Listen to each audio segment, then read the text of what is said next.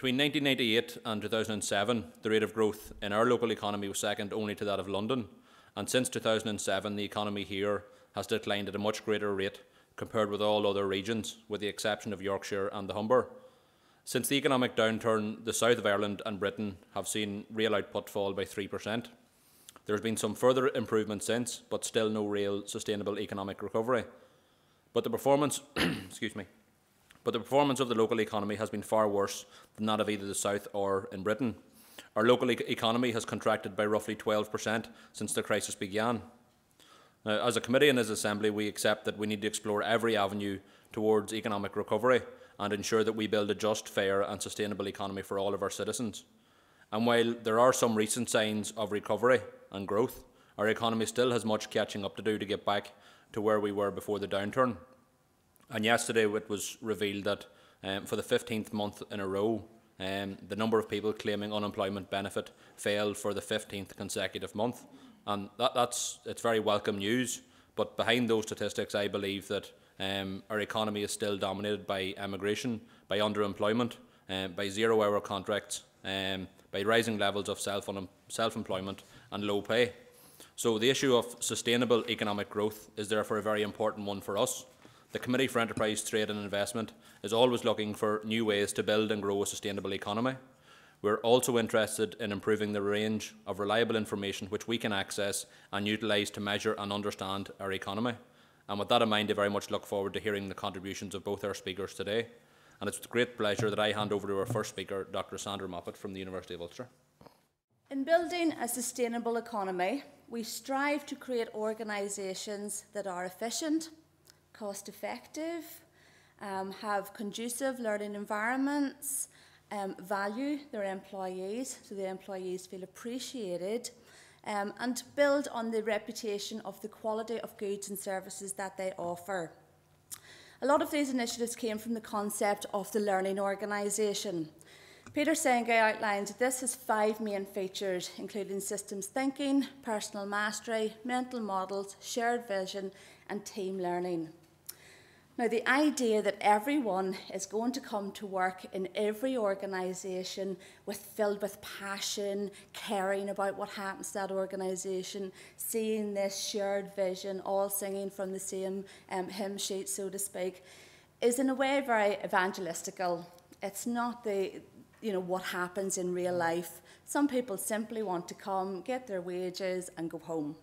So I think we have to appreciate that within organisations the um, concept of knowledge management actually came to the fore around 1997 in a way of how to operationalise the learning organisation. So while the ideal um, situation was there, sort of, yes, we would all like to, to you know, be in um, learning organisations and work for organisations that appreciate their staff and, and provide conducive environments for knowledge exchange and sharing, how to do that was a challenge for organisations.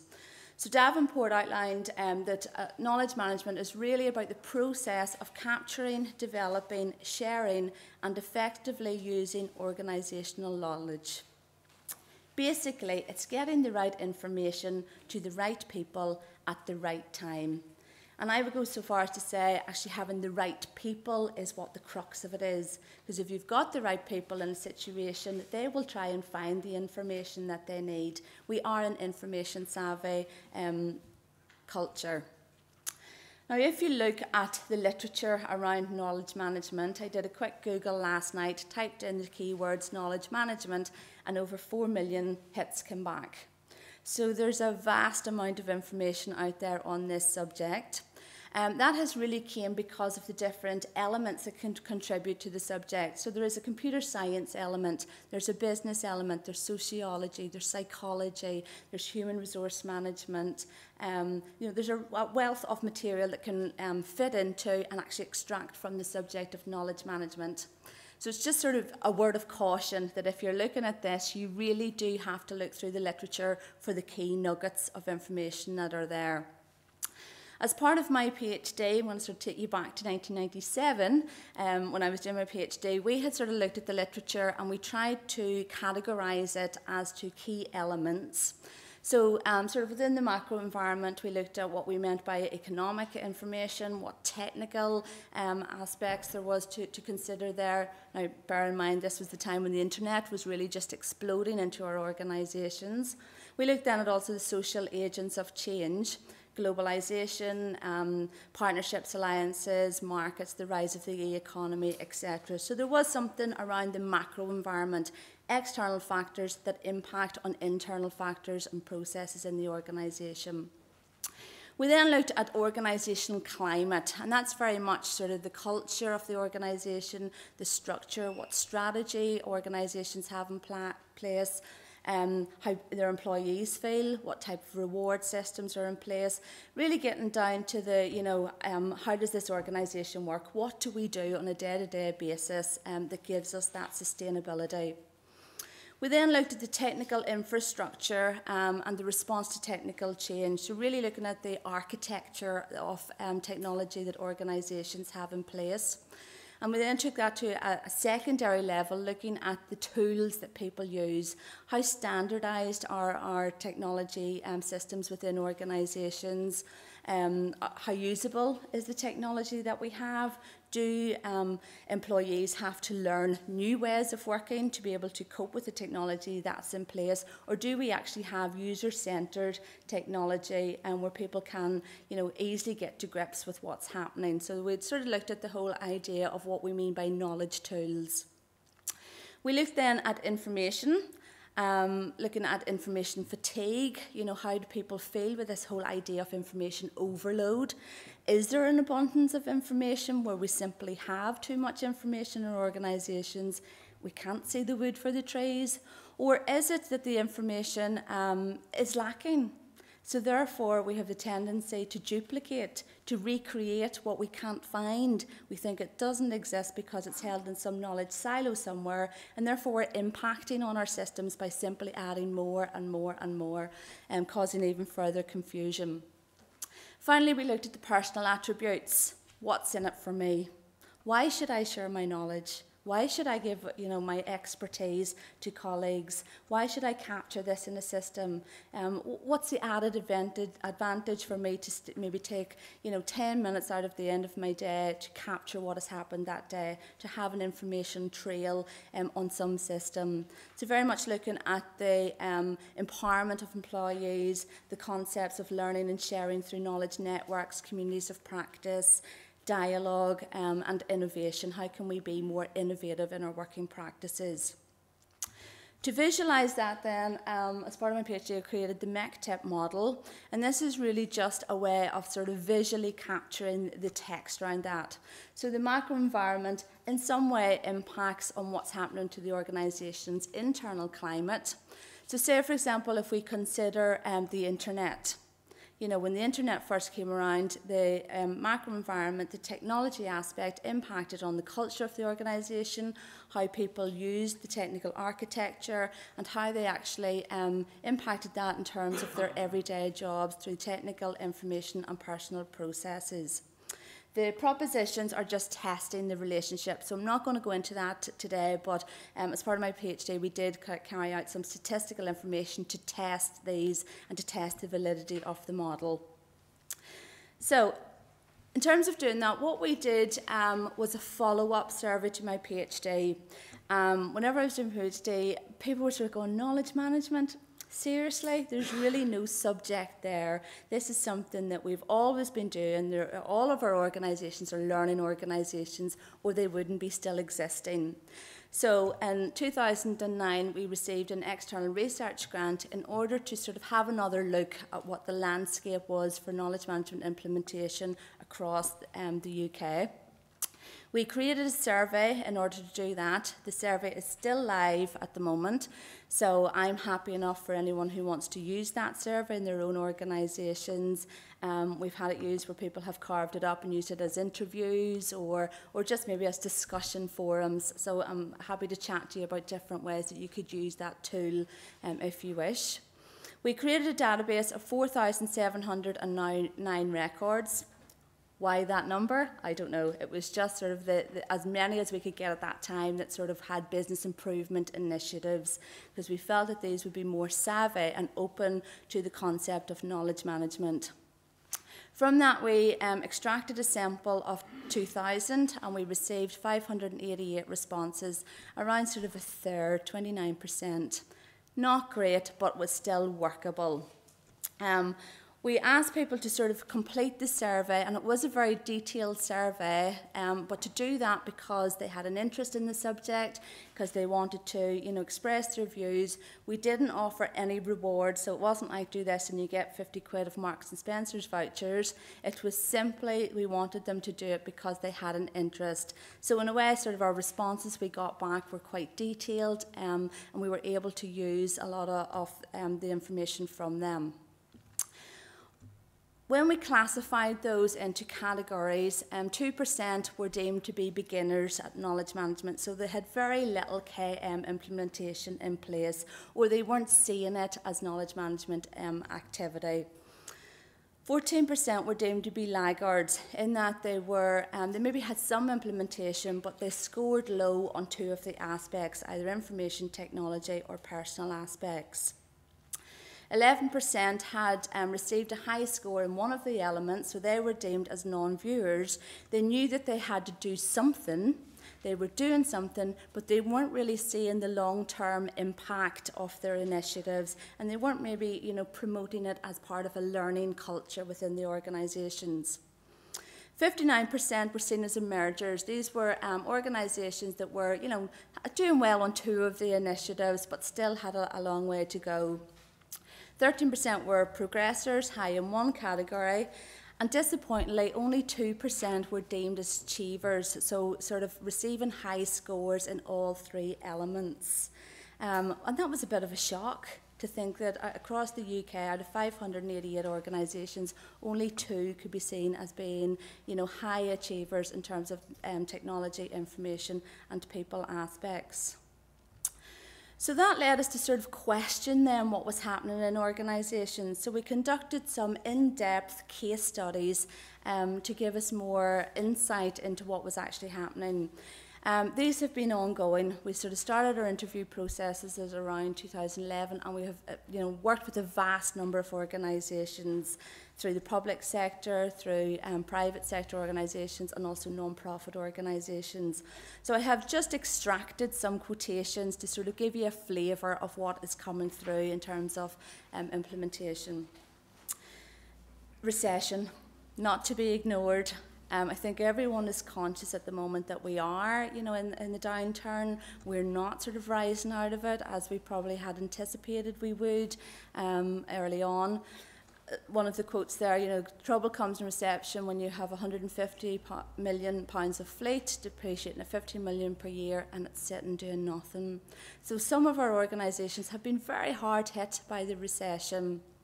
Um, you know, I don't, we don't have the capacity to sort of look at new markets. We, we're just trying to keep our heads above water at the moment was another sort of mantra.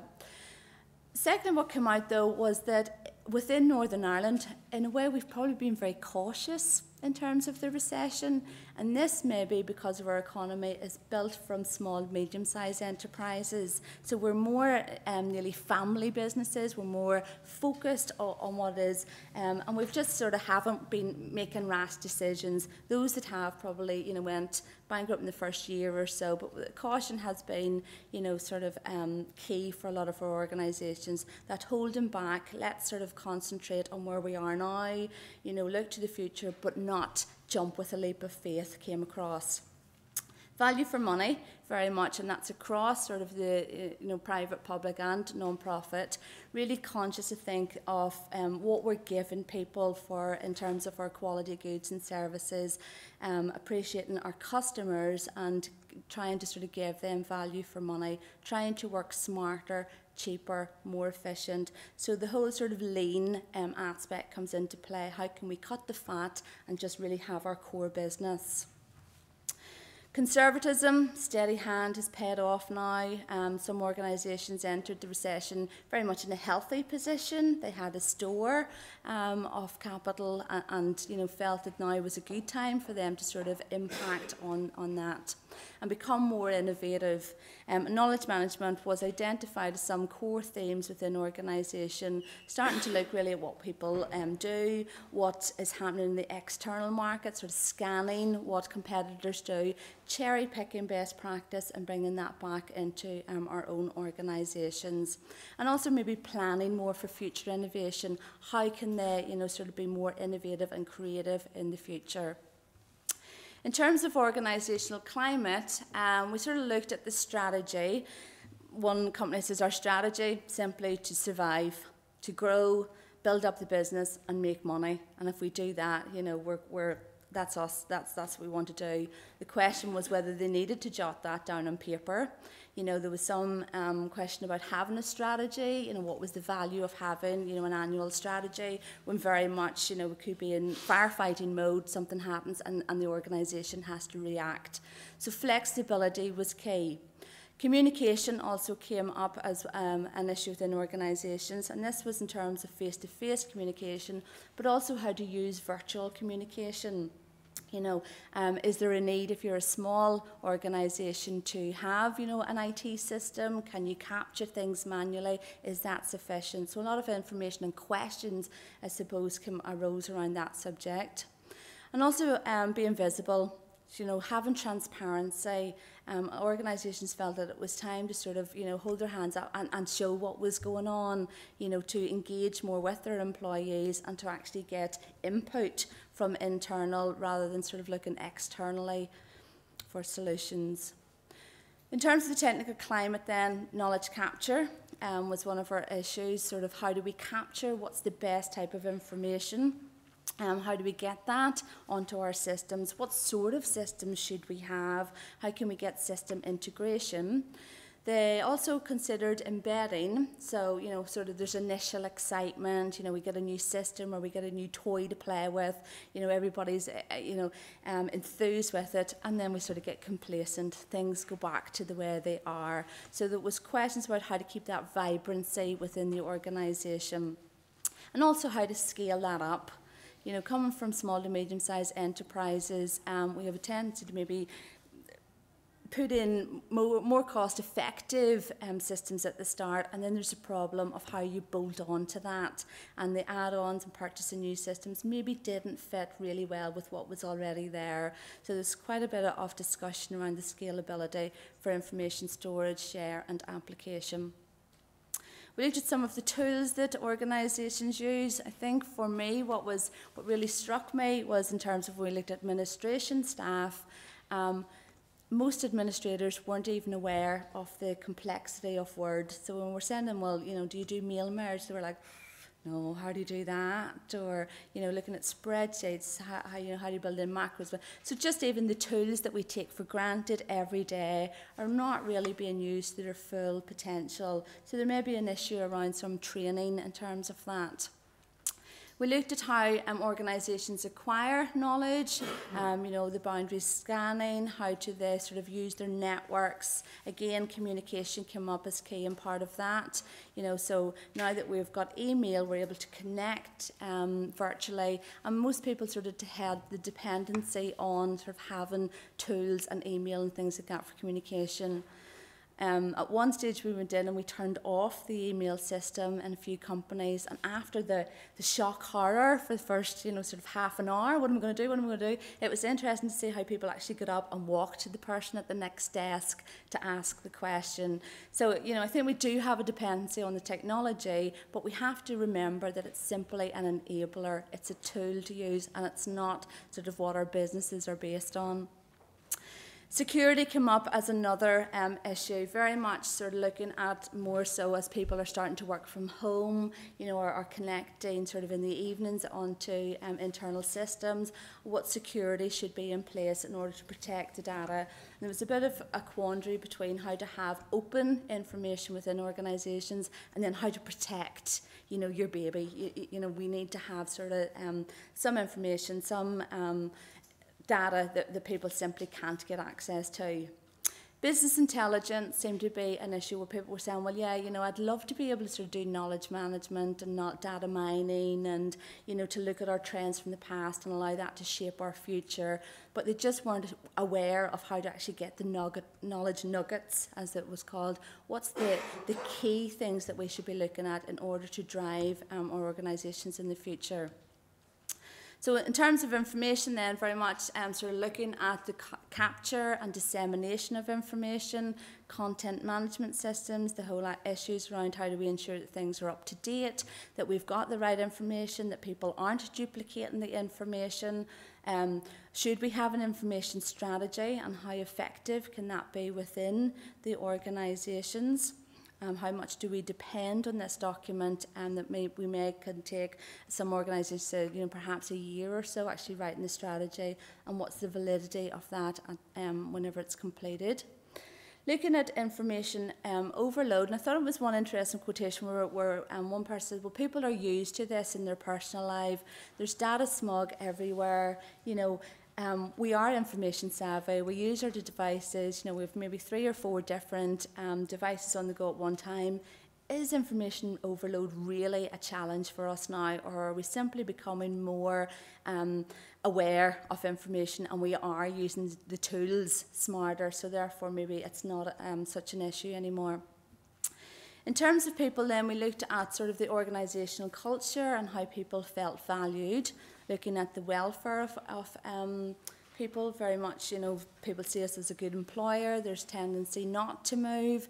As opposed to um, cultures where maybe people felt that if you didn't move, you know, within you know the first three years, that you you were tied. So there is, I think, sort of as people are getting more and more educated, um, there's a, a tendency to move around organisations to job hot to sort of develop your skills.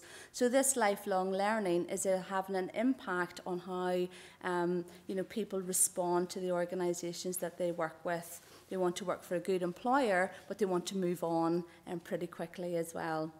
It was interesting as well, sort of uh, where the leadership came out as being crucial. Peter Senge outlines that you know two good organisations do two things. One, they hire a good leader. Two, they constantly look for his or her replacement. So I think within organisations, people were looking for that leadership. They wanted to be inspired and they wanted their leader to be a knowledge champion and to actually encourage them um, to, you know, look at external sources of information to bring the information back, giving them the freedom and the flexibility to risk take in a way, to sort of be a bit more averse to exploration um, in terms of the working practices. Flexibility. Um, should people have flexible working practices? Was some arguments around that. Um, should they be, you know, are they more productive or that when they're in the office and they can collaborate with colleagues? Or, you know, is it acceptable for organisations to allow their employees working from home? And I think that very much came through from the public sector, where maybe there's not the um, history of allowing people to sort of stay at home and have location based working, and that's starting to change now. So, some interesting discussions around that. Um, team working, I think people realise that there we don't work in isolation anymore. We tend to work in teams. Um, there was this concept of mentoring going on within organisations, and that very much came from the idea of having succession planning. So there was key people in organisations who maybe were moving on or retiring, um, and, and there was a gap there. Organisations had maybe missed out on a lot of the knowledge that should have been captured but wasn't, and they only realised that after the person had gone. So I think that you know a lot of our companies are starting to think of succession planning, what's going to happen um, when our employees do move on. So within the literature then, there is an evidence that knowledge management is now sort of coming to fruition as a, a subject in its own right, as a way to influence um, the strategies and operations of our, our current organisations and really sort of being looking at it, you know, it's not necessarily a fad. Personally, I don't like the term knowledge management. I think it's an oxymoron that you can't really manage knowledge if we're looking at the personal aspect of it. Um, some organisations would prefer to refer to it as continuous improvement or continuous innovation, which I think is a better concept. But whatever the term is um, in use within the organisations, the core concepts are still there that we need to be, you know, working smarter, working more effectively and more efficiently. The challenges then for organisations is that most do not manage their knowledge well you know, we do have knowledge silos. We're not really au fait with what's happening in our IT systems. We have systems that the information is out of date, databases that have maybe been redundant, but no one wants to remove it. So there are some issues around content management and how do we have, um, you know, the best information available. We also considered then how we lose knowledge through downsizing and, and staff turnover and this whole lack of succession planning. We tend to buy in expertise that already exists, um, reinventing the wheel, very much knowledge capture and sharing. There's a tendency to want to capture um, the glory stories. You know, what have we done well? How can we promote that? And that was one of the difficulties with some of the organisations who maybe weren't doing so good. Um, when it came to actually publishing, they were like, no, no, no, don't be saying that about us. You know, we don't want the public to know that we've went and lost X amount of pounds on that project or whatever. So, you know, we're not very good at sort of holding our hands up and being risk, um, you know, sort of adverse and, and taking that on board. There's also sort of um, a quandary as to how to apply knowledge management. So, you know, while we can look at this from an academic subject and look at the theory, actually putting it into practice can be difficult for organisations, and it's not a quick win solution. You know, you really have to look at what is applicable for that organisation at that particular moment in time and just be flexible and ready and open for change.